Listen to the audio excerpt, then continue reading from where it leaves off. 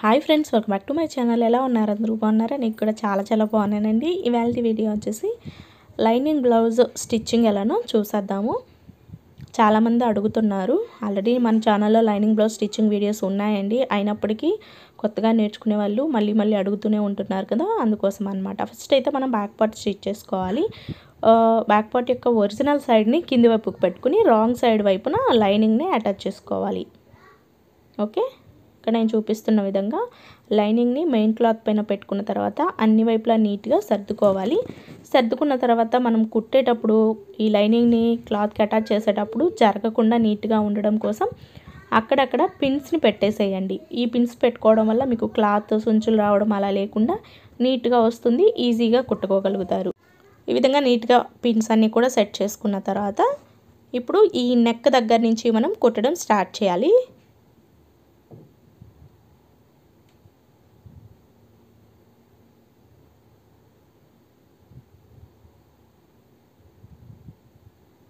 ఈ రౌండ్ కుట్టేటప్పుడు కూడా క్లాత్ని ఈ విధంగా తిప్పుతూ కుట్టండి. ఒకవేళ రౌండ్ తిరిగే చోట మీకు కుట్టు జరగకపోతే పాదం పైకి తీసుకుని కుడితే సరిపోతుంది. పాదాన్ని కాస్త లూజ్గా పైకెత్తి పట్టుకోవాలంతే. అలాగే క్లాత్ని నీట్గా సర్దుకుంటూ కుట్టాల్సి ఉంటుంది. ఇలా మొత్తం లైనింగ్ క్లాత్ని మనం మెయిన్ క్లాత్కి అంతా కూడా చుట్టూ జాయిన్ చేసేసుకున్నాం. ఓకే? ఇలా అంతా కూడా జాయిన్ చేసుకున్న తర్వాత ఎక్స్ట్రాగా ఉన్నటువంటి క్లాత్ ఏదైతే ఒరిజినల్ క్లాత్ ఉంది కదా లైనింగ్ క్లాత్ కన్నా ఎక్కువగా ఉన్నటువంటి క్లాత్ అంతా కూడా లైనింగ్ క్లాత్తో సమానంగా నీట్గా కట్ చేసేయాలి. ఈ నెక్ పార్ట్ కానివ్వండి సైడ్స్ కానివ్వండి షోల్డర్స్ దగ్గర ఎక్కడైనా సరే మొత్తం అంతా నీట్గా కట్ చేసేయాలి. ఇలా మొత్తం కట్ చేసేస్తున్నాను. ఓకే సైడ్ వేస్ట్ క్లాత్ అంతా కట్ చేసిన తర్వాత మనకి ఇలా రెడీ అవుతుంది. ఇప్పుడు బ్యాక్ పార్ట్కి బ్యాక్ బెల్ట్ ఎలా వేయాలో చూద్దాం. బ్యాక్ బెల్ట్ పీస్ని జాయిన్ చేసుకుని రెడీ చేసేసానండి ఇక్కడ నేను. ఇప్పుడు దీనికి ఒకవైపున సన్నగా ఇలా ఫోల్డ్ చేసి కూడా కుట్టేశాను. మామూలు బ్లౌజ్కి మనం బ్యాక్ బెల్ట్ రెడీ చేసుకుంటాం కదా సేమ్ అంతే. ఇప్పుడు బ్లౌజ్ యొక్క ఈ ఒరిజినల్ సైడ్ పై వైపు ఉండేలాగా పెట్టుకుని ఈ నడుముకి ఇలా చివరన ఈ బ్యాక్ బెల్ట్ని అటాచ్ చేసేయాలి. అలాగే మీరు ఫస్ట్ టైం మన వీడియోస్ చూస్తున్నట్లయితే ప్లీజ్ తప్పకుండా మన ఛానల్ని సబ్స్క్రైబ్ చేసుకోండి. మీరు సబ్స్క్రైబ్ చేయడం వల్ల నేను ఎప్పుడు ఏ వీడియో పెట్టినా మీకు ముందుగా నోటిఫికేషన్ వస్తుంది. అలాగే వీడియో మీకు నచ్చినట్లయితే ప్లీజ్ తప్పకుండా ఒక లైక్ చేయండి. వీడియో యూజ్ అవుతుంది అనుకున్న వాళ్ళకి తప్పకుండా షేర్ చేయండి. ఇప్పుడు బ్యాక్ బెల్ట్ని ఇలా పక్కకు పెట్టేసిన తర్వాత ఇలా పై వైపున ఓన్లీ బ్యాక్ బెల్ట్ పైన మాత్రమే స్టిచ్ పడేలాగా కుట్టండి. బ్లౌజ్ పైన కుట్టుపడొద్దు బ్యాక్ బెల్ట్ పైన మాత్రమే కుట్టుపడాలి టాప్ స్టిచ్ అనేది. ఇలా టాప్ స్టిచ్ కూడా వేసుకున్నాం కదా. ఇలా చక్కగా వస్తుంది. ఇప్పుడు ఈ బ్యాక్ బెల్ట్ని ఇలా లోపల వైపుకి అంటే రాంగ్ సైడ్ వైపుకి ఇంకా చెప్పాలంటే లైనింగ్ వైపుకి ఫోల్డ్ చేసేసి మిషన్కి లూజ్ కుట్టు పెట్టుకుని ఒక కుట్టు వేయండి. ఈ కుట్టు మనం బ్లౌజ్ అంతా కుట్టేసుకున్న తర్వాత విప్పేస్తాము. అంటే ఈ బ్యాక్ బెల్ట్ మనము బ్లౌజ్ స్టిచ్ చేసుకునేటప్పుడు అటు ఇటు కదలకుండా ఉండడం కోసం మాత్రమే ఈ స్టిచ్ వేస్తామన్నట్టు. చూడండి. ఇలా వస్తుందన్నమాట బ్యాక్ బెల్ట్. ఓకే? ఇప్పుడు బ్యాక్ డాట్స్ ఎలా కుట్టాలో చూద్దాం. ఈ బ్యాక్ డాట్స్ కుట్టేటప్పుడు షోల్డర్ని సగానికి ఫోల్డ్ చేసుకుని నడుముకి స్ట్రైట్గా ఇలాగా ఓకే? బ్యాక్ డాట్స్ కుట్టాలి. అలాగే ఈ బ్యాక్ డాట్ పొడవు ఎంత కుట్టాలి అని మీకు డౌట్ రావచ్చు. మనకి బ్యాక్ నెక్ వచ్చేసి ఎంత ఉందో చూడండి. ఇక్కడ వచ్చేసి నాలుగున్నర ఇంచులు ఉంది. కాబట్టి డాట్స్ వచ్చేసి నెక్ కన్నా కొంచెం చిన్నవిగానే పెట్టుకోవాలి. అంటే మూడున్నర లేదా నాలుగు ఇంచుల వరకు కూడా పెట్టుకోవచ్చు. ఇక్కడ నేనైతే మూడున్నర ఇంచులు మార్క్ చేస్తున్నాను బ్యాక్ డాట్ యొక్క పొడవు. ఇక్కడ వచ్చేసి ఒక హాఫ్ ఇంచ్ ఉండేలాగా మార్క్ చేసుకోవాలి.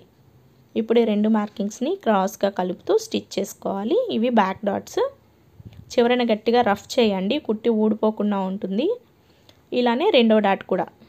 షోల్డర్ని సగానికి ఫోల్డ్ చేసుకుని షోల్డర్కి స్ట్రైట్గా ఇలా నడుము దగ్గర డాట్ కుట్టుకుంటాం అంతే. ఈ డాట్ పొడవు కూడా సేమ్ మూడున్నర ఇంచుల దగ్గరికి మార్క్ చేసుకోవాలి. చివరన ఒక హాఫ్ ఇంచ్ పెట్టి చివరన గట్టిగా రఫ్ చేసేసి ఇలా క్రాస్గా ఈ మూడున్నర ఇంచుల మార్కింగ్కి క్రాస్గా కలిపిస్తే సరిపోతుంది. అంతేనండి బ్యాక్ పార్ట్ కుట్టడం అయితే కంప్లీట్ అయిపోయింది. ఇప్పుడు మనం ఫ్రంట్ పార్ట్ని ఏ విధంగా స్టిచ్ చేసుకోవాలో చూసేద్దాం. ఇవి వచ్చేసి ఫ్రంట్ పార్ట్ పీసెస్ అండి. రెండేమో లైనింగ్స్ ఉంటాయి రెండేమో మెయిన్ క్లాత్స్ ఉంటాయి. ఫస్ట్ ఈ మెయిన్ క్లాత్స్ని ఇలా ఓపెన్ చేసుకుని ఒరిజినల్ సైడ్ కింది వైపుకు ఉండేలాగా పెట్టుకోండి. రాంగ్ సైడ్ పై వైపు ఉండేలాగా పెట్టుకోవాలి. అలాగే ఈ ఫ్రంట్ నెక్స్ రెండు ఎదురెదురుగా ఉండేలాగా చూసుకోవాలి. ఆమ్ రౌండ్ వచ్చేసి పెద్దదిగా ఉంటుందండి. నెక్ వచ్చేసి చిన్నదిగా ఉంటుంది. మీరు అది కూడా గమనించుకోండి. లేదంటే కన్ఫ్యూజ్ అయిపోతారు. నెక్ ఎటువైపు ఆమ్ రౌండ్ ఎటువైపు తెలియకుండా కన్ఫ్యూజ్ అవ్వచ్చు. ఇప్పుడు ఈ ఫ్రంట్ పార్ట్ పైన నీట్గా లైనింగ్స్ని సెట్ చేసుకోవాలి. సెట్ చేసుకున్న తర్వాత వీటికి పిన్స్ పెట్టేసుకోండి. ఫస్ట్ ఒకదానికి పెట్టి పక్కన ఉంచేసి ఈ రెండవది మనం కుట్ ఇప్పుడు కుట్టడం స్టార్ట్ చేస్తాం కదా దీనికైతే క్లాత్స్ కదలకుండా నీట్గా పిన్స్ పెట్టుకోండి. మీకు కొంచెం ఎక్స్పీరియన్స్ వచ్చిన తర్వాత పిన్స్ పెట్టుకోవాల్సిన పని లేదు డైరెక్ట్గా కుట్టేసేయచ్చు. ఇలా పిన్స్ పెట్టుకున్న తర్వాత ఫస్ట్ మనం ఫ్రంట్ నెక్ ఫ్రంట్ నెక్ దగ్గర నుంచి మాత్రమే ఈ లైనింగ్ని అటాచ్ చేసుకోవాలన్నమాట.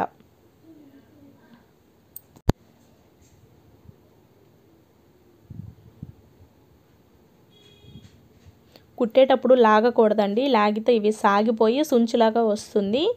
కాబట్టి లాగకూడదు. ఒకవేళ మీకు కుట్టు జరగకపోతే పాదాన్ని కాస్త పైకి తీసుకుని ఇలా లూజ్గా జరుపుకుంటూ కుట్టండి. ఈ విధంగా కుట్టిన తర్వాత లైనింగ్ క్లాత్ కన్నా ఎక్స్ట్రాగా ఉన్న క్లాత్ మొత్తాన్ని లైనింగ్ క్లాత్తో సమానంగా కట్ చేసుకుని రెడీ చేసుకోవాలి. ఇప్పుడు ఈ పిన్స్ తీసేసి రెండవ ఫ్రంట్ పార్ట్కి కూడా మనం అక్కడక్కడ పిన్స్ పెట్టేసుకుని కుడితే రెండవ ఫ్రంట్ పార్ట్ కూడా రెడీ అయిపోతుంది అన్నట్టు. ఈ ఫ్రంట్ పార్ట్ కుట్టేటప్పుడు కూడా ఇక్కడ ఈ షోల్డర్ దగ్గర నుంచి ఫ్రంట్ నెక్ దగ్గర నుంచి ఇలా కుట్టాలి. ఓకే? అర్థమవుతుంది కదా? మొత్తం కుట్టిన తర్వాత ఎక్స్ట్రాగా ఉన్న క్లాత్ అంతా కట్ చేసేయాలి. ఇప్పుడు రెండు ఫ్రంట్ పార్ట్లు రెడీ అయ్యాయి. ఇప్పుడు మనం ఈ ఫ్రంట్ పార్ట్కి డాట్స్ ఏ విధంగా కుట్టాలో చూద్దాం. ఈ ఫ్రంట్ పార్ట్స్ రెండింటిని ఇలా ఒకదానిపైన ఒకటి పెట్టండి. ఓకే? ఈ డాట్స్ పెట్టేటప్పుడు కింది క్లాత్ యొక్క ఒరిజినల్ సైడ్ పైకి ఉండాలి. పై వైపున ఉన్న ఫ్రంట్ పార్ట్ యొక్క క్లాత్ కింది వైపుకు ఉండాలన్నమాట. ఓకే ఇప్పుడు వచ్చేసి నెక్ వైపు నుంచి మీరు చూసుకోండి. మళ్ళీ ఆమ్ రౌండ్ వైపున మీరు డాట్స్ పెట్టుకుంటే కన్ఫ్యూజ్ అయిపోతారు. చెప్పాను కదా నెక్ చిన్నదిగా ఉంటుంది ఆమ్ రౌండ్ పెద్దదిగా ఉంటుంది. అది మీరు ఒకటికి రెండుసార్లు చూసుకోండి బిగినర్స్ అయితే మాత్రం. ఓకే ఇక్కడి నుంచి. చూడండి ఫ్రంట్ నెక్ వచ్చేసి విత్ రెండున్నర ఇంచులు పెట్టాము. మనం బ్లౌజ్ కట్ చేసుకునేటప్పుడు నెక్ విత్ రెండున్నర పెట్టుకున్నాం కదా ఇక్కడ కూడా రెండున్నర ఇంచులు పెట్టుకోవచ్చు. కానీ మీకు కొంచెం కప్ అనేది రౌండ్ సైజులో రావాలి అని అనుకున్నప్పుడు రెండు ముప్పై ఇంచులు లేదా మూడు ఇంచులు కూడా విడ్త్ అనేది పెట్టొచ్చండి. దీనివల్ల ప్రాబ్లం ఏం ఉండదు. డాట్ మీకు దగ్గరికి పెట్టకుంది ఆ షేప్ అనేది కొంచెం ఫిట్టింగ్గా ఉన్నట్టు ఉంటుంది అనమాట కొంచెం దూరంగా పెడితే కొంచెం ఫ్రీగా ఉంటుంది. తర్వాత ఈ మార్కింగ్ దగ్గర నుంచి డాట్ కుట్టడం కోసం రెండు ముప్పై ఇంచుల దగ్గరికి మార్క్ చేసుకోవాలి. సన్నగా ఉన్న వాళ్ళకైతే డాట్ కుట్టడం కోసం రెండున్నర ఇంచులే సరిపోతుందండి. రెండు ముప్పై ఇంచుల డాట్ అనేది ఎవరికన్నా సెట్ అవుతుంది అనమాట అంటే పెద్ద సైజు వాళ్ళకి కూడా సెట్ అవుతుంది. అలాగే ఇక్కడ హుక్స్ పట్టి కాజా పట్టి వైపు మనకి ఒక డాట్ ఉంటుంది కదా ఆ డాట్ కోసం క్లాత్ని ఇలా సగానికి ఫోల్డ్ చేయండి. ఫోల్డ్ చేసిన తర్వాత ఫోల్డింగ్ కన్నా ఒక హాఫ్ ఇంచ్ కిందికి మార్క్ చేయండి. కింది వైపుకి మార్క్ చేసి ఇక్కడ కూడా ఒక టక్స్ పెట్టేసేయండి. ఇంకపోతే ఆమ్ రౌండ్ దగ్గర టక్స్ పెట్టాల్సిన పని లేదండి. మనం డైరెక్ట్గా మెయిన్ డాట్ని బేస్ చేసుకుంటూ ఆ డాట్ని కుట్టేసేయచ్చు. ఇప్పుడు ఫస్ట్ మనం ఒక ఫ్రంట్ పార్ట్ని తీసుకుని ఈ టక్స్లు ఇచ్చాం కదా మనం మెయిన్ డాట్ కోసము కింది వైపున వీటి రెండింటిని సమానంగా పెట్టండి. అలాగే డాట్ కుట్టేటప్పుడు ఒరిజినల్ సైడ్ పై వైపుకు ఉండేలాగా చూసుకుని ఈ రాంగ్ సైడ్ వైపు అంటే లైనింగ్ వైపున మాత్రమే డాట్స్ని కుట్టుకోవాలి. ఓకేనా? ఈ టక్స్లు రెండు ఇక్కడ సమానంగా పట్టుకోండి. కింది వైపు క్లాత్ పై వైపు క్లాత్. సమానంగా పట్టుకుని నీడిల్ని క్లాత్ పైన ఉంచండి. తర్వాత పాదం పైకి తీసుకుని చూడండి. ఈ విధంగా మీరు స్ట్రైట్గా లాగాలి. ఒక్కొక్కసారి ఇది మనకి స్ట్రైట్గా రాదండి. కొంచెం నిదానంగా మనం అడ్జస్ట్ చేసుకుంటే స్ట్రైట్ వస్తుంది. చూడండి. మీరు ఇక్కడ చూస్తేనే మీకు అర్థమవుతుంది. చూసారా? కాస్త అడ్జస్ట్మెంట్. అంతే. పాదాన్ని పైకి ఖచ్చితంగా పైకి లేపితేనే పాదాన్ని మీకు ఇది స్ట్రైట్ వస్తుంది. కొంచెం అటు ఇటు అయినా పర్వాలేదు మరీ ఎక్కువగా అయితే రాకూడదు. అలాగే డాట్ యొక్క పొడవు వచ్చేసి రెండున్నర లేదా రెండు ముప్పై ఇంచులు కూడా పెట్టుకోవచ్చు. మీకు చెస్ట్ లిఫ్టింగ్ అనేది కొంచెం ఎక్కువగా కావాలి అనుకుంటే రెండు ముప్పై ఇంచులు పెట్టండి. కప్ సైజు కాస్త రౌండ్ సైజులా కావాలి అని అనుకున్నప్పుడు రెండున్నర ఇంచులే పెట్టండి. నేనైతే రెండు ముప్పై ఇంచులు పెట్టాను. బట్ చిన్న సైజ్ బ్లౌజెస్ వాళ్ళకి మాత్రం రెండున్నర ఇంచుల డాట్ పొడవు అనేది సరిపోతుంది. చిన్న సైజ్ అంటే సన్నగా ఉన్న వాళ్ళకి. ఓకే? ఇప్పుడు ఫ్రంట్ మనం ఇందాక టక్స్ పెట్టాం కదా హుక్స్ పట్టి కాజాల పట్టి వైపు ఈ డాట్ని కూడా సేమ్ స్టిచ్ చేసుకోవచ్చు. ఇది వచ్చేసి స్టార్టింగ్ మనం మార్కింగ్ చేయాల్సిన పని లేదండి. సన్నగా ఒక పాదం వరుసను కుట్టాలి. అలాగే డా ఈ డాట్ యొక్క పొడవు వచ్చేసి రెండున్నర లేదా మెయిన్ డాట్ పెట్టినట్టుగానే రెండు ముప్పై ఇంచులు పెట్టేసుకోవచ్చు. ఈ డాట్స్ అన్నీ కూడా ఇంచుమించు అన్ని సైజుల వాళ్ళకి ఒకేలా ఉంటుందండి. కొంచెం ఒక పావించి అటు ఇటుగా మొత్తం అందరికీ ఒకలాగే వస్తాయన్నమాట. వీటి కోసం మనం పర్టికులర్గా కొలతలని భయపడాల్సిన పని లేదు. ఇప్పుడు ఈ స్టార్టింగ్ మనం మెయిన్ డాట్ కుట్టాం కదా ఈ పాయింట్ని ఇలా పట్టుకుని ఇక్కడ ఆమ్ రౌండ్ దగ్గరికి ఇలా క్రాస్గా చూసుకోండి. ఓకే? ఇలా క్రాస్ ఇలా రావాలన్నమాట. ఇలా స్టిఫ్గా వచ్చిన తర్వాత ఇక్కడ నుంచి కుడితే సరిపోతుంది. మీకు కప్ అనేది నీట్గా వస్తుందండి. అలాగే ఈ డాట్ యొక్క పొడవు వచ్చేసి నాలుగున్నర ఇంచులు. మీకు కప్ పాయింట్ అనేది కొంచెం ఫిట్గా కావాలి అనుకుంటే ఫైవ్ ఇంచెస్ పెట్టుకోవచ్చు. చిన్న సైజ్ బ్లౌజెస్కి అయితే ఇంత పొడవు కూడా రాదండి నాలుగు ఇంచులే వస్తుంది. అయ్యో ఈవిడికేమో ఇంత వచ్చేసింది నాకేంటబ్బా ఇలా రాలేదని భయపడాల్సిన పని లేదు. ఆ ఫ్రంట్ పార్ట్ ఆ క్లాత్ ఎంతైతే ఉంటుందో దానిని బట్టి మనకి డాట్స్ పొడవ పొడవుగా రావడం తక్కువగా రావడం జరుగుతుంది అంతే ఇలా త్రీ డాట్స్ కుట్టేస్తే మనకి ఫ్రంట్ పార్ట్ ఇలా వస్తుంది అనమాట చూడండి కప్ అనేది చక్కగా తేలింది కదా. ఇదే విధంగా మనం రెండో వైపు ఫ్రంట్ పార్ట్కి కూడా సేమ్ ఇలానే డాట్స్ కుట్టుకోవాలి. అలాగే ఫ్రెండ్స్ మీరు లైనింగ్ మొత్తము హ్యాండ్స్కి అన్నిటికీ కూడా సెట్ చేసుకున్న తర్వాత అయినా మీరు బ్లౌజ్ అంతా ఒకేసారి కుట్టుకోవచ్చు. నాకైతే ఇలా అలవాటు అనమాట నేను ఏ పార్ట్ కుడుతున్నానో ఆ పార్ట్కి లైనింగ్ అటాచ్ చేసుకుంటూ కుట్టుకోవడం అలవాటు కాబట్టి నేను మీకు కూడా అలాగే చూపిస్తున్నాను. ఓకే? చూడండి కప్పు అంతా కూడా నీట్గా వచ్చేసింది మనకి. ఓకే అండి ఇప్పుడు వచ్చేసి మనం షేప్ బెల్ట్ ఎలా కుట్టాలో చూస్తున్నాము. వేస్ట్ క్లాత్లో ఒక రెండు తీసుకోవాలి. లైనింగ్ క్లాత్లో ఉంది కాబట్టి నేను లైనింగ్ క్లాత్ కట్ చేసుకున్నాను. లైనింగ్ క్లాత్ లేకపోతే వేస్ట్ క్లాత్ అయినా తీసుకోవచ్చు. వేస్ట్ క్లాత్ ఒక టూ లేయర్స్ తీసుకుని దానిపైన ఈ మెయిన్ క్లాత్ పెట్టుకోవాలి. అలాగే ఈ మెయిన్ క్లాత్ యొక్క ఒరిజినల్ సైడ్ కింది వైపుకు ఉండేలాగా పెట్టి ఇలా ఒక స్టిచ్ చేయండి. స్టిచ్ చేసిన తర్వాత క్లాత్ని ఇలా పక్కకు పెట్టి లైనింగ్ క్లాత్లను ఈ విధంగా కింది వైపుకి ఫోల్డ్ చేసేసుకుని ఈ చివరన ఫస్ట్ ఒక స్టిచ్ చేసుకోవాలి. ఇలానే రెండో వైపు షేప్ బెల్ట్ని కూడా కుట్టుకుని రెడీ చేసుకోవాల్సి ఉంటుందండి. నేను ఇక్కడ మీకు ఒక షేప్ బెల్ట్ని కుట్టడం మాత్రమే చూపిస్తున్నాను. ఒక కుట్టు వేసిన తర్వాత ఆ కుట్టు పక్కనే రెండవ కుట్టు కూడా వేసుకోవాలి. అలాగే వీడియో మీకు నచ్చితే ప్లీజ్ తప్పకుండా ఒక లైక్ చేయండి. మీరు లైక్ చేయడం వల్ల మన వీడియో ఎక్కువ మందికి రీచ్ అయ్యే ఛాన్స్ అయితే ఉంటుంది. ఇలా ఒక షేప్ బెల్ట్ రెడీ అయింది కదా ఇలానే ఇక్కడ నేనైతే రెండో షేప్ బెల్ట్ని కూడా కుట్టుకుని రెడీ చేసేసాను. ఇప్పుడు ఒక షేప్ బెల్ట్ యొక్క ఈ ఒరిజినల్ సైడ్ పైకుండేలాగా పెట్టండి మెయిన్ క్లాత్ ఓకే? ఇప్పుడు రెండో షేప్ బెల్ట్ యొక్క ఈ ఒరిజినల్ క్లాత్ కింది వైపుకి పెట్టండి. అంటే ఇలా ఒరిజినల్ ఒరిజినల్ ఎదురెదురుగా ఉండేలాగా అనమాట ఈ విధంగా పెట్టిన తర్వాత కింది వైపు అడ్జస్ట్ నీట్గా ఉండేలాగా పెట్టండి సమానంగా. ఇలా నీట్గా సెట్ చేసుకున్న తర్వాత ఇప్పుడు సైడ్స్ ఏమన్నా హెచ్చు తగ్గులు ఉంటే నీట్గా కట్ చేసేయండి. ఓకే ఇప్పుడు వచ్చేసి షేప్ బెల్ట్ యొక్క హైట్ మార్క్ చేస్తున్నామండి. ఒక వైపున మూడు ఇంచులు మార్క్ చేయండి. ఈ మూడు ఇంచులు పెట్టినది మనకి హుక్స్ పట్టి దగ్గర కాజా పట్టి దగ్గర వస్తుంది. అలాగే రెండవ చివరన వచ్చేసరికి రెండు ముప్పావు ఇంచులు వచ్చేలాగా మార్క్ చేయండి. క్వార్టర్లెస్ త్రీ ఇంచెస్ అనమాట ఇప్పుడు రెండు మార్కింగ్స్కి మధ్యలో రెండున్నర ఇంచులు టూ అండ్ హాఫ్ ఇంచెస్ ఉండేలాగా మార్క్ చేసుకోవాలి. ఈ మెజర్మెంట్ షేప్ బెల్ట్ మెజర్మెంట్ అనేది ఏ సైజ్ వాళ్ళకన్నా సెట్ అవుతుందండి.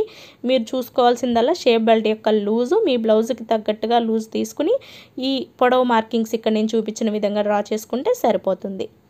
ఇప్పుడైతే ఇక్కడ ఒక చిన్న కవర్ షేప్ వచ్చేలాగా డ్రా చేసుకుని నీట్గా కట్ చేసేయాలి. ఇప్పుడు మనము ఇంచులు పెట్టి మార్క్ చేసుకున్నాం కదా ఒక వైపున ఈ షేప్ బెల్ట్కి త్రీ ఇంచెస్ పెట్టిన వైపు చిన్న టక్స్ పెట్టుకోండి. మీరు ఫ్రంట్ పార్ట్కి జాయిన్ చేసుకునేటప్పుడు గుర్తుంటుందన్నమాట. ఇలా ఖచ్చితంగా టక్స్ పెట్టుకోండి మీకు సింపుల్గా గుర్తుంటుంది. ఓకే? షేప్ బెల్ట్లు కూడా మనం కట్ చేసుకున్నాం కదా ఇప్పుడైతే ఫ్రంట్ పార్ట్కి జాయిన్ చేసేసుకుందాం. ఫస్ట్ ఫ్రంట్ పార్ట్లు రెండు ఇలా పెట్టుకున్న తర్వాత షేప్ బెల్ట్కి టక్స్ ఇచ్చినది హుక్స్ పట్టీ దగ్గర కాజా పట్టీ దగ్గర అలా ఫ్రంట్ పార్ట్లకి అరేంజ్ చేసుకోండి. రెండింటికి ఒకేసారి అరేంజ్ చేసుకున్న తర్వాత షేప్ బెల్ట్ని కుట్టండి. షేప్ బెల్ట్ కూడా కుట్టేటప్పుడు ఈ రెండిటికి కూడా ఒరిజినల్స్ అనేటివి పైకే ఉండేలాగా పెట్టుకుని ఇలా స్టిచ్ చేసుకోవాలి. కుట్టడం కూడా నేను ఎలా కుడుతున్నాను అనేది కూడా మీరు అబ్జర్వ్ చేయండి. అలాగే ఈ ఫ్రంట్ పార్ట్లో మెయిన్ డాట్ని ఫోల్డ్ చేసి పాదం వైపుకు పెట్టండి.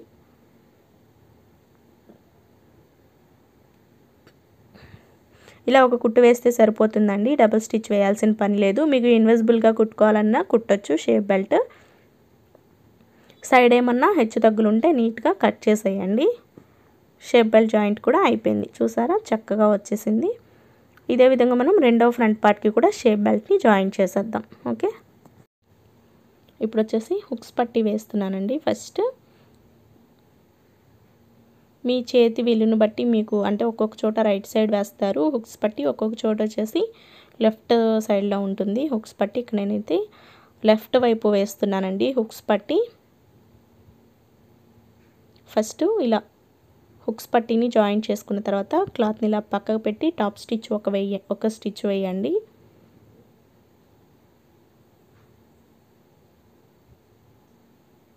పైన ఎక్స్ట్రా క్లాత్ని కట్ చేసేయాలి. ఇప్పుడు ఈ హుక్స్ పట్టిని ఇలా డబుల్ ఫోల్డ్ చేసేసి నీట్గా స్టిచ్ చేసేయాలి.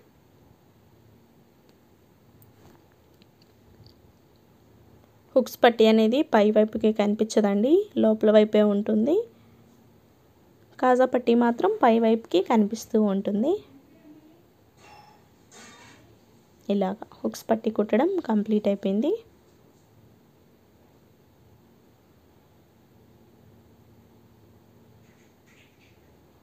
ఇప్పుడు వచ్చేసి కాజాపట్టి. కాజాపట్టి వచ్చేసి రాంగ్ సైడ్ వైపు నుంచి స్టిచ్ చేసుకోవాలి.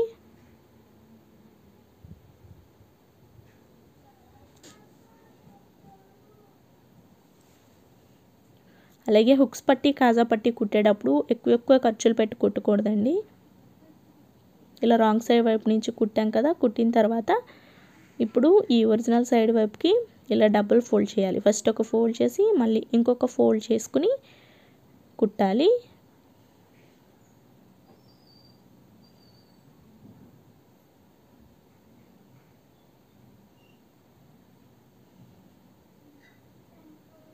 కుట్టిన తర్వాత ఇలా పక్కకు పెట్టి మళ్ళీ రివర్స్లో ఒక పాదం వరుసన రెండవ కుట్టు వేయాలి. ఇంతే హుక్స్ పట్టి కాజా పట్టి కుట్టడం కంప్లీట్ అయిపోయింది. ఇప్పుడు షోల్డర్స్ జాయింట్ చేసుకుని మడపీస్ ఎలా వేయాలో చూద్దాం ఫస్ట్ బ్యాక్ పార్ట్ని ఇలా పరుచుకున్న తర్వాత బ్యాక్ పార్ట్ పైన ఈ ఫ్రంట్ పార్ట్ని పెట్టాలి. ఒరిజినల్ ఒరిజినల్ చూడండి. అలాగే నెక్స్ రెండు ఎదురెదురుగా లేదా హుక్స్ పట్టి కాజా పట్టి రెండు ఎదురెదురుగా ఉన్నది లేనిది చూసుకుని షోల్డర్ జాయింట్ చేసుకోవాలి.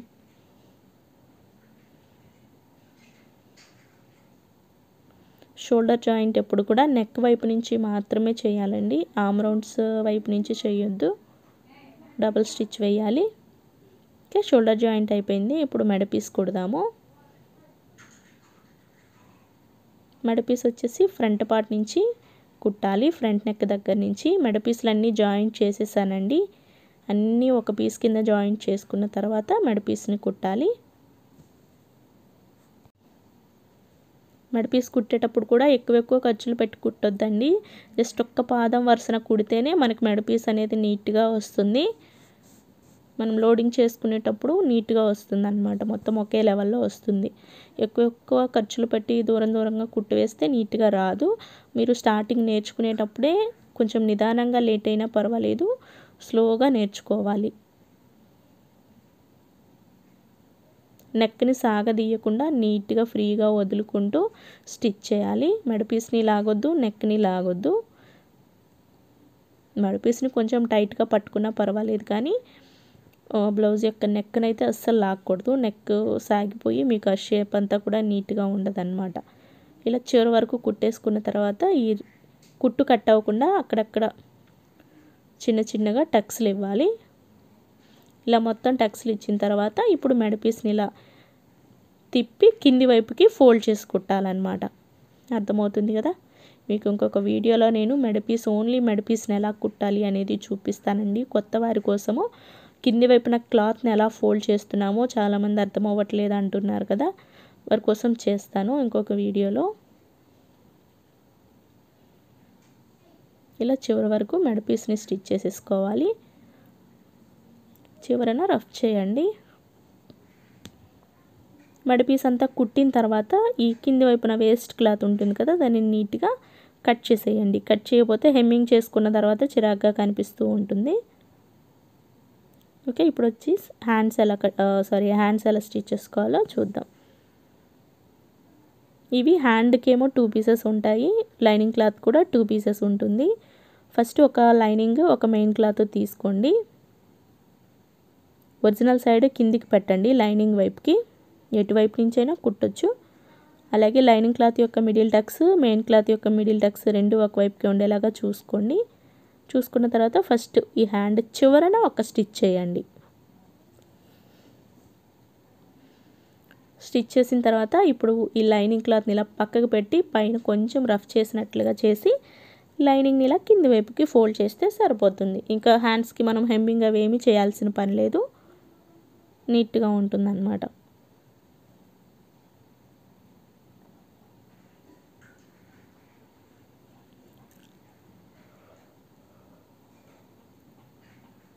ఒక స్టిచ్ చేసుకున్న తర్వాత ఇప్పుడు ఈ చుట్టూ అంతా కూడా లైనింగ్ని మెయిన్ క్లాత్కి అటాచ్ చేస్తున్నాను. మీరు కావాలనుకుంటే పిన్స్ కూడా పెట్టుకోవచ్చు. అలాగే హ్యాండ్స్కి వచ్చేసి నేను సైడ్ చిన్న పీస్ జాయింట్ పడుతుందండి కానీ నేను జాయింట్ వేయట్లేదు. అడ్జస్ట్ చేసి పెట్టేద్దాంలే అన్నట్టు. హ్యాండ్కి మిడిల్ టక్స్ లైనింగ్ క్లాత్కి ఉంటుంది కదా అక్కడే మళ్ళీ సేమ్ ఇంకొక టక్స్ పెట్టండి. ఇలాగే రెండో హ్యాండ్ కూడా కుట్టుకుని రెడీ చేసుకోవాలి. ఇక్కడైతే నేను టూ హ్యాండ్స్ కూడా కుట్టి రెడీ చేశానండి. ఒక హ్యాండ్ యొక్క ఒరిజినల్ సైడ్ పైకి పెట్టండి. రెండో హ్యాండ్ యొక్క ఒరిజినల్ సైడ్ కింది వైపుకి పెట్టండి. అలాగే హ్యాండ్ యొక్క మిడిల్ టక్స్లు రెండు సమానంగా పెట్టండి. ఇక్కడ మనం హ్యాండ్స్కి ఒక వైపున లోతు తీస్తున్నాము. లోతు తీసిన హ్యాండ్ ఫ్రంట్ పార్ట్ వైపుకి వచ్చేలాగా కుడతాం. మిడిల్ టక్స్ దగ్గర నుంచి హాఫ్ ఇంచ్ దగ్గరకు ఒక మార్క్ పెట్టండి. చివరన వచ్చేసి ఒకటిన్నర ఇంచుల దగ్గరికి మార్క్ చేసుకోండి. ఓకే ఇప్పుడు ఈ రెండు మార్కింగ్స్కి మధ్యలో ముప్పావు ఇంచు ఉండేలాగా మార్క్ చేసుకోండి. ఓకే? క్వార్టర్లెస్ వన్ ఇంచ్ అనమాట ఇప్పుడు ఈ త్రీ మార్కింగ్స్ని బేస్ చేసుకుంటూ ఇలా హ్యాండ్ లోత్ అనేది నేను చూపించిన విధంగా డ్రా చేసుకోవాలి. ఇప్పుడు లోతు డ్రా చేసుకున్నాం కదా కట్ చేసేయాలి. అలాగే కుట్టేటప్పుడు కన్ఫ్యూజ్ లేకుండా గుర్తుండడం కోసం లోతు కట్ చేసిన వైపున ఒక టక్స్ ఇవ్వాలి. ఇప్పుడు లోతు కట్ చే సారీ కట్ చేసిన వైపున ఒక స్టిచ్ చేసుకుంటే మనము బ్లౌజ్కి అటాచ్ చేసేటప్పుడు విడిపోకుండా ఉంటుంది. ఓకే ఇప్పుడు వచ్చేసి మనం హ్యాండ్స్ని బ్లౌజ్కి ఎలా కుట్టాలో చూద్దాం. ఫస్ట్ ఈ బ్లౌజ్ తీసుకుని షోల్డర్స్ దగ్గర ఏమన్నా హెచ్చు తగ్గులు ఉన్నది లేదు చూసుకుని హెచ్చు తగ్గులు ఉంటే లైట్గా కట్ చేసేయండి. ఇప్పుడు హ్యాండ్కి లోతు తీసినది ఫ్రంట్ పార్ట్ వైపుకి వచ్చేలాగా చూసుకోండి. చూసుకుని ఇలా పెట్టి కుట్టండి. హ్యాండ్ కుట్టేటప్పుడు రాంగ్ సైడ్ పైకి ఉండాలి రైట్ సైడ్ కింది వైపుకు ఉండాలి. అలాగే లోతు తీసాం కదా ఒకవైపున హ్యాండ్కి అది ఫ్రంట్ పార్ట్ వైపుకు ఉండాలి. ఇప్పుడు హ్యాండ్ యొక్క మిడిల్ టక్స్ షోల్డర్ జాయింట్ రెండు సమానంగా పట్టుకుని స్టిచ్ చేయాలి. షోల్డర్ పాయింట్ దగ్గర నుంచే కుట్టండి. కొత్తగా నేర్చుకునే వారి కోసం చూ చెప్తున్నాను. హ్యాండ్ జాయింట్ చేసేటప్పుడు క్లాత్ని లాగొద్దండి. హ్యాండ్ని లాగకూడదు. అలాగే బ్లౌజ్ ఆమ్ రౌండ్ కూడా లాగొద్దు. చివరి వరకు కుట్టిన తర్వాత మళ్ళీ ఇలా రివర్స్లో సేమ్ అదే స్టిచ్ పైన కుడుతూ రావాలి. అలాగే ఇక్కడ నేను మీకు ఒక్క హ్యాండ్ మాత్రమే కుట్టడం చూపిస్తున్నాను. రెండో హ్యాండ్ కూడా సేమ్ ఇలానే కుట్టుకుని రెడీ చేసుకోవాలి. ఇప్పుడు షోల్డర్ దగ్గర నుంచి రివర్స్లో రెండో వైపును కూడా జాయింట్ చేయాలన్నమాట. హ్యాండ్ జాయింట్ హ్యాండ్స్కి కొంచెం క్లాత్ తగ్గినా ఇబ్బంది ఏం లేదండి. అది ఎలాగో స్టిచ్చింగ్లోకి వెళ్ళిపోతుంది కాబట్టి జాయింట్స్ వేయాల్సిన పని లేదు. మరి ఎక్కువ క్లాత్ తగ్గితే మాత్రం జాయింట్స్ చేసుకోవాలి. ఇప్పుడు మళ్ళీ రివర్స్లో సేమ్ అదే స్టిచ్ పైన ఈ షోల్డర్ పాయింట్ వరకు కుట్టుకుంటే హ్యాండ్ జాయింట్ అనేది కంప్లీట్ అవుతుందనమాట అంటే అటువైపు రెండు సార్లు ఇటువైపు రెండు సార్లు కుడుతున్నాము. ఇంతే. ఒకసారి హ్యాండ్ కుట్టడం కంప్లీట్ అయిపోయిన తర్వాత నీట్గా వచ్చింది లేనిది ఒకసారి ఇలా చూసుకోండి. ఒక్కొక్కసారి క్లాత్ ఫోల్డ్ అయిపోయి సుంచులు వచ్చేస్తాయి అలా రాకుండా చూసుకోండి. రెండో వైపున కూడా సేమ్ ఇలానే హ్యాండ్ జాయింట్. ఇక్కడైతే నేను రెండు వైపులా హ్యాండ్ జాయింట్ చేసేసానండి. ఇప్పుడు సైడ్ జాయింట్ చేసుకుందాం. సైడ్ జాయింట్ చేసుకునేటప్పుడు ఈ హ్యాండ్ని ఇలా సగానికి ఫోల్డ్ చేసేసి హ్యాండ్ యొక్క చివరలని సమానంగా పట్టుకోవాలి. ఓకే? ఇలా పట్టుకున్న తర్వాత ఒకసారి ఇలా పా సపోర్ట్ కోసం పాదం కింద పెట్టుకోండి అంతే. హ్యాండ్ యొక్క లూజ్ వచ్చేసి ఐదున్నర ఇంచులండి ఫైవ్ అండ్ హాఫ్ ఇంచెస్ దగ్గరికి ఒక మార్క్ చేసుకోండి. ఫార్టీ సైజ్ వాళ్ళకి కొంచెం లూజ్గా కావాలి అనుకుంటే ఆరు లేదా ఆరున్నర ఇంచులు కూడా హ్యాండ్ లూజ్ పెట్టుకోవచ్చు. ఫస్ట్ చివరగా ఒక మార్క్ చేసుకుని ఆ మార్కింగ్ దగ్గర నుంచి కుట్టండి. ఎగ్జాక్ట్ మార్కింగ్ కుట్టొద్దు. అలాగే ఆమ్ రౌండ్ యొక్క ఈ వేస్ట్ అంతా కూడా పాదం వైపుకి పెట్టేసేయండి. పై వైపుకి ఓకే మీరు హ్యాండ్ దగ్గర ఏ లెవెల్లో కుట్టడం స్టార్ట్ చేశారో అదే లెవెల్లో చివరి వరకు అంటే నడుము దగ్గర వరకు కూడా కుట్టేసేయండి. చివరిన గట్టిగా రఫ్ చేసేయండి. ఇప్పుడు మనం ఎగ్జాక్ట్ హ్యాండ్ మార్కింగ్ పెట్టుకున్నాం కదా ఫైవ్ అండ్ హాఫ్ ఇంచెస్ ఐదున్నర ఇంచుల మార్కింగ్ దగ్గర పెట్టేసి ఎగ్జాక్ట్ కుట్టు కుట్టేసేయండి. సేమ్ ఒకే లెవెల్లో కుట్టాలి. స్టార్టింగ్ ఎలా అయితే స్టార్ట్ చేసామో అదే లెవెల్లో కింది వరకు కుడితే మీకు పర్ఫెక్ట్ ఫిట్టింగ్ అనేది వస్తుందన్నమాట. అలాగే షేప్ బెల్ట్ యొక్క వేస్ట్ కూడా పై వైపుకి అంటే పాదం వైపుకే ఉండేలాగా పెట్టండి. చివరన గట్టిగా రఫ్ చేయండి. ఇప్పుడు ఇకపోతే మనకి ఎన్ని స్టిచెస్ కావాలనుకుంటే అన్ని స్టిచెస్ కూడా వేసేసుకోవచ్చు. ముందు కుట్టిన రెండు స్టిచ్చెస్కి మధ్యలో ఒక స్టిచ్ చేస్తాను. నేను పక్కన ఇంకొక స్టిచ్ మొత్తం ఫోర్ స్టిచ్చెస్ వేస్తానండి బ్లౌజ్కి. ఓకే?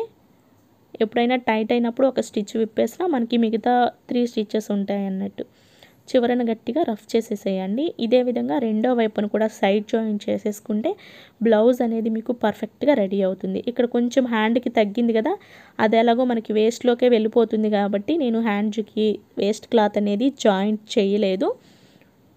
మొత్తం బ్లౌజ్ అంతా రెడీ అయ్యాక ఈ సైడ్ ఎడ్జెస్ని ఒకసారి నీట్గా కట్ చేసుకుని మీకు ఓవర్లాక్ అవైలబుల్గా ఉంటే ఓవర్లాక్ చేయించేసుకోవచ్చు.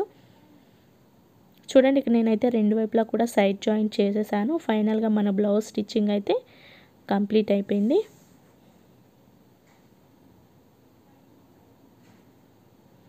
ఎక్కడ కూడా హెచ్చు తగ్గులు అలా ఏమీ రావండి. మన కటింగ్ నీట్గా ఉంటే స్టిచ్చింగ్ కూడా నీట్గా వస్తుంది. మీరు కట్ చేసేటప్పుడు సరిగా కట్ చేసుకోకుండా వీడియోని సరిగా చూడకుండా సగం సగం చూసేసి కట్ చేశారంటే మీకు క్లాత్ వేస్ట్ అవుతుంది.